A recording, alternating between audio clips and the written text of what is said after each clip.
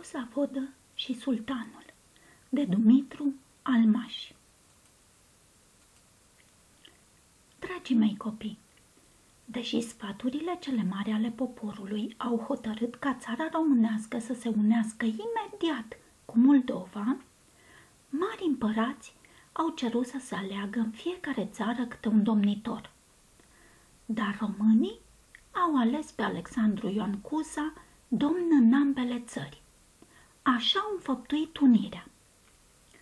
Dar din această pricină, sultanul turcilor s-a supărat foarte tare. Se gândea chiar să trimită armată să-l alunge pe Cuza din țară. Ce putea face Cuza Vodă? Război? Nu, nu avea armată. Atunci a hotărât. Mă duc să stau de vorbă eu însă cu acest mare împărat, să-i arăt că poporul m-a vrut domn, domn al unirii, și că nu se poate călca în picioare așa la nesfârșit vrerea lui. Maria ta, au spus unii sfetnici, nu te duce, e primeștie mare. Prieteni, a zis Cuza, știu că în istoria noastră mai mulți voievozi au fost uciși de sultanii turci.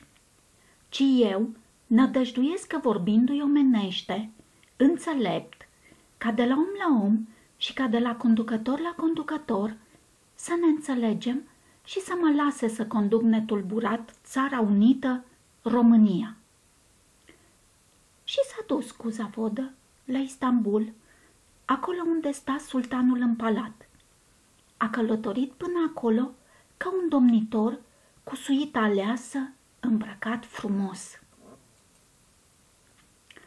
Trebuie să știți că toți voievozii, înainte de cuza vodă, când se înfățișau sultanului, erau obligați să facă o temenea, adică să îngenunche și să-i sărute pulpana. Cuza vodă știa asta, dar mai știa că îngenunchind umilește țara și poporul care l-a ales. De aceea, la intrarea în palat, când ofițerii din gardă i-au spus să îngenunche, Cuza a răspuns cu mândrie și demnitate. Sunt domnitor. Conduc o țară de oameni inimoși, harnici, mândri, buni și iubitori de libertate. Auzindu-i vorbele așa de răspicat, ofițerii din gardă i-au îngăduit să intre în sala cea mare, unde sultanul îl aștepta pe tronul lui înalt, de aur, împodobit cu pietre scumpe, orbitor de strălucitoare.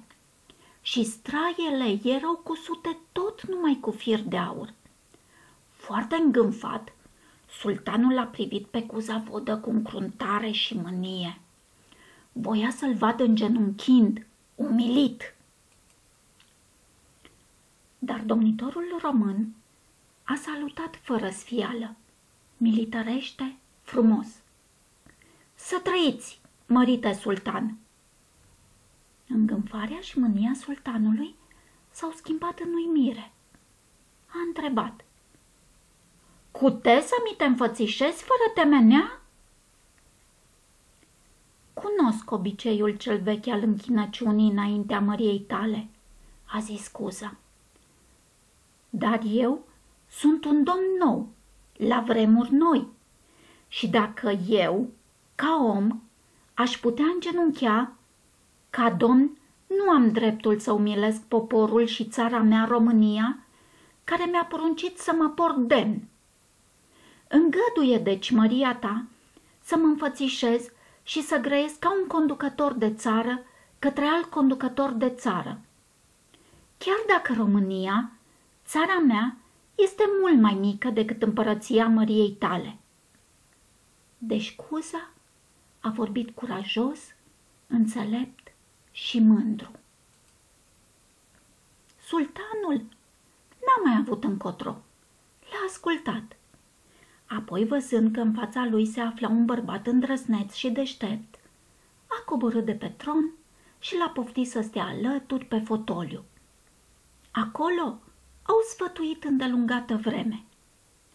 Cu inteligența, cu priceperea, întreburile conducerii, cu talentul lui de vorbitor, Cuza Vodă a înmuiat inima sultanului, i-a îmblânzit trufia și ura. Până la urmă s-au înțeles bine. A recunoscut unirea. Ba chiar mai mult, în cinstea domnitorului României, sultanul a rânduit un banchet cu mulți invitați de seamă, cu muzicanți care au cântat în cinstea oaspetelui cântece populare românești. Așa ceva nu se mai întâmplase niciodată până atunci la curtea sultanului.